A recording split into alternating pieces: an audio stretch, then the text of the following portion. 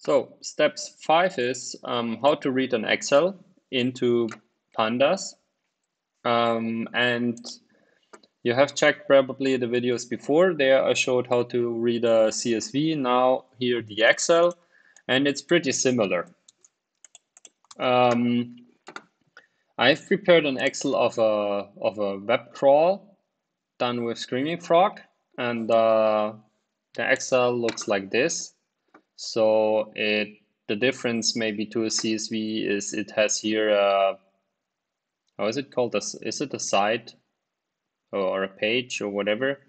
Um, and it has some data and now I want to load it and it's done like this. So you go for the same uh, directory plus the, the name of the file. You tell in this case the header is zero because the first um, the first row in the Excel is giving you the column uh, headers or the column names. And what I need to add here, in this case, I need to add the sheet name. There are other options how to load it. You can also load by, um, not by name, but by index. And uh, if I do that, I should get uh, a little data frame into pandas. So now I would recommend to stay a little bit. Uh, loading an Excel is now explained, but the interesting part is now check these weird headers. And I want to show you here some cleanup. Uh, first cleanup is how to clean up uh, these columns. And in this case, it's not so, e it's the rename function I explained in the video four. Uh, so the, the video before. So um, but here you have more complicated uh, column names because you have all these uh, things you need to escape.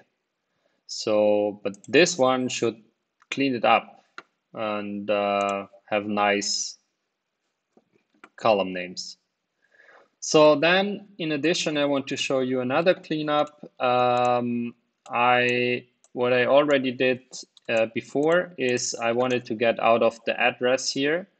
Um, the ID again, explained I think in the second video. And um, I want to drop some drop, I think never used until now. Drop is a function to kick out columns in this case. So I want to kick out, um, yeah, this content, the status code, and this I, I don't care. Yeah. So let's run this and you see now it's much more clean.